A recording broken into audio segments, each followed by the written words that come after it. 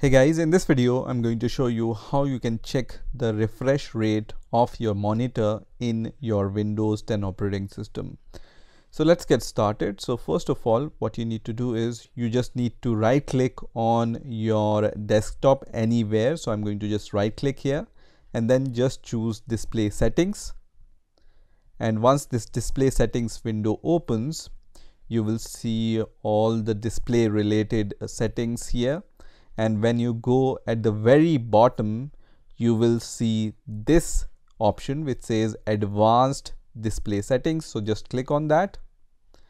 And here you will be able to see the refresh rate in hertz for your monitor. In my case it's around 60.056 hertz. If your monitor supports something different it will be displayed here.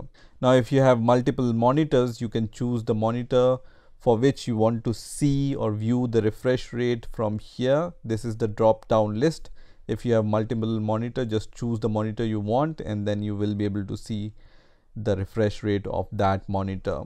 You can also change the refresh rate of a particular monitor by just using this drop down menu. In my case my monitor only supports 60 hertz but if your monitor supports other refresh rates you can choose that from uh, this uh, drop down menu and then change your refresh rate of your monitor.